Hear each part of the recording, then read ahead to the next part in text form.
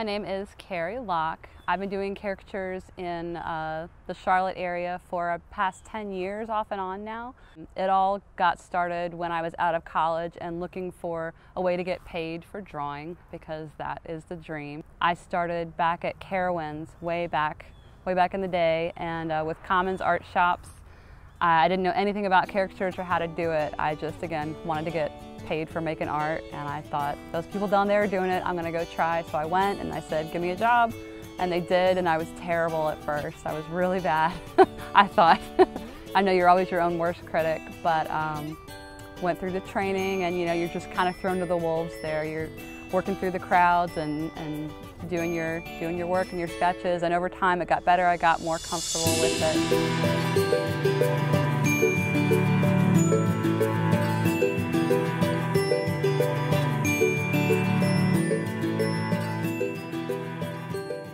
After about a season and a half at Carowinds, um, life moved on and I got a, a day job doing something else and you know things are busy but the occasional gig would still come along and I realized how much I enjoyed doing it on my own without working for a company so I happily accepted any gigs that came along. I didn't I didn't push and seek them out too much because again I was really busy and wound up having a family, so that keeps me extremely busy. Um, but caricature is an art form that I have always loved.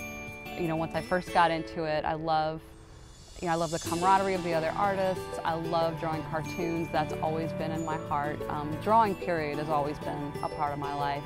So that was an easy leap for me to get into caricature.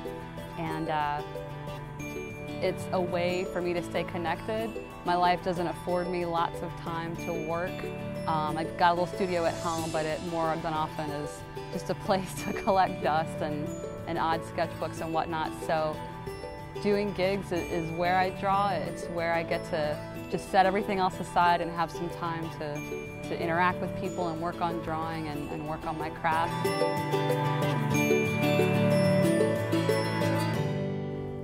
Some of my influences artistically, especially for caricature, are um, of course Al Hirschfeld was someone that made a big impression on me when I first learned about his artwork and looked at it because I thought if someone can distill a likeness down to just a couple of lines, I just felt like that was the epitome of, of capturing someone on paper and um, always would love to strive to do that. You know, the more stylized and suggestive you can get, um, but still capturing someone, I just think is kind of the epitome of the craft.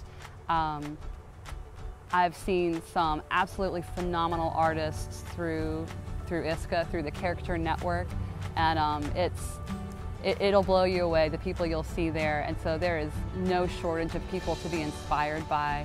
Some of my absolute favorite gigs are the ones where there's multiple artists because aside from just having someone in the trenches with you, um, you know, as you're, you're working through the gig. Uh, it's, it's just so neat to get to turn your head and see how this guy's doing his style or see how that girl's handling that weird hairdo on her person that she's got to draw. So it's, I, I think I get a lot from those gigs. I absolutely love getting to watch other artists in action. Um, it does a lot. It, I feel much more comfortable when I'm surrounded by other artists. You know, when you've got a line out the door and you're, you're just thinking, I gotta draw all these people and it's, it's exciting, but it's challenging. It's a little terrifying the way that you're put on the spot, but I think that's part of what I like about it. It's, it's very real. It's very, there's no hiding in it. You know, you've got to do it and you've got one shot pretty much. Um, so it's exciting.